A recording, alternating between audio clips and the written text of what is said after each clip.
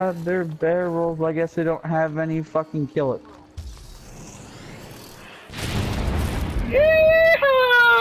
Blast myself off the edge. Well, like, my point is that.